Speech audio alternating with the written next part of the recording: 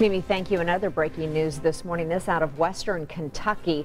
A Kentucky State Police trooper is dead after being shot after a high-speed chase. It happened last night along Interstate 24 near the town of Eddyville, Kentucky. Troopers have closed a section of that interstate while they search for a suspect who took off after the shooting. No word yet on the identity of the state trooper killed. Authorities believe the suspect still has a weapon.